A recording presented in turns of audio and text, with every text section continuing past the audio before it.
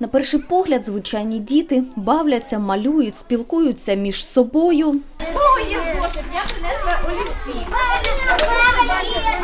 Але кожен з них знає, чому сьогодні вимушені переїжджати вже втретє. Потому что война началась. На- Нас могли там застрелити і убити. Вчора цих 128 сиріт та дітей, позбавлених батьківського піклування, з Миколаєва привезли до Кропивницького.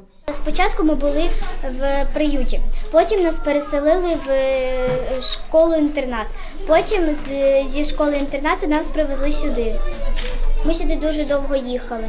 Вчора нашим хлопцям збройних сил разом з е, двома керівниками областей вдалося вивезти тих діток на територію, яка на щастя є спокійною. У групі діти від 3 до 16 років приїхали без вихователів. Кількох працівників їх миколаївського інтернату раніше вбили російські загарбники. Про це розповідають старші вихованці. Мы ждали ее, это было 8 марта. Мы уже и плакаты, и все, типа, уже ждали. Нам сказали, что расстреляли нашего воспитателя и у- убили, ну, троих убили. Нашего воспитателя, и воспитателя с другой группы, человека, который нас переодевает.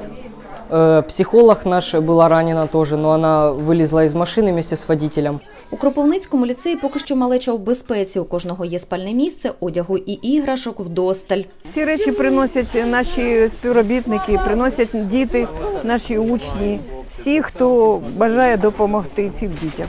Гарячий обід за розкладом. Але чи безпечно? Щодня по кілька разів на добу на Кіровоградщині лунають сирени. Вчора, коли ми вже уснули, з- е, ну, лягли спати, то почали е, ну, почалася воздушна тривога. І що ви робили?